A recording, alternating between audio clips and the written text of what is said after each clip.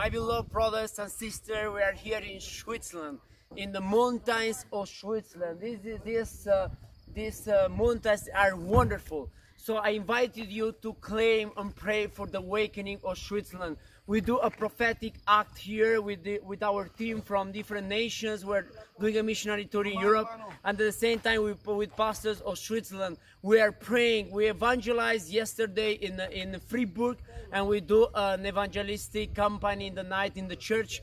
So today we are doing a prophetic act in the mountains of Switzerland that God bless this nation.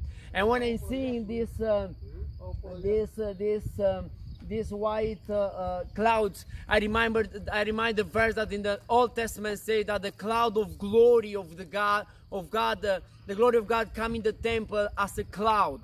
So let the glory, I, I pray that the glory of God cover Switzerland, cover Europe, cover earth, cover this 21st century generation as the water of the sea cover the land.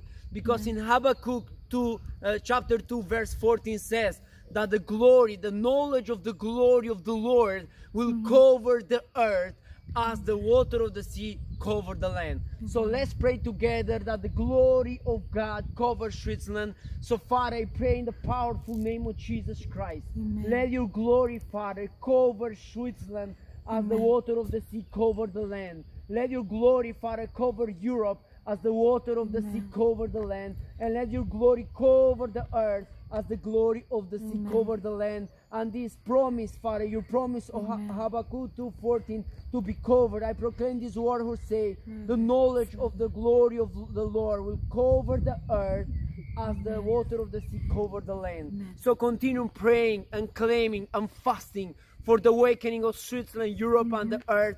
And come with us in our missionary Europe tour in mm-hmm. summers, preaching and evangelizing in Europe. And at the same time, we want to launch teams in Europe during the year that all Europe can be evangelized and all Europe can meet Jesus Christ. Thank you for, for all, all your prayers, all your support in prayers and different ways you support our missionary tours and uh, our missionary calling in Europe and this earth and generation. God told me in 2013, 2014, I give you Madrid, Spain, Europe, and this generation. Thank to God, in these five years, I was in A9, A9 mission trips in Europe, in 33 nations in Europe, and other uh, and in Peru, and then in Turkey. God carried me in 35 nations of three continents. One of my dreams is going in, on all the earth, in the one, 194 nations, preaching the gospel, praying and planting the churches and universities and doing uh, missionary centers in the universities for young people and in, and in summer doing missionary tours not only in Europe but global tours in every continent of the of the world taking teams carrying teams of, workers for God's kingdom. Because the Bible says Jesus say in Luke uh, 10 verses 1 2 that the work of God is big. The uh, the the work of God is big, so pray to the Lord to raise workers to his field. So God bless you all, and I invited you to come with us in the missionary tours,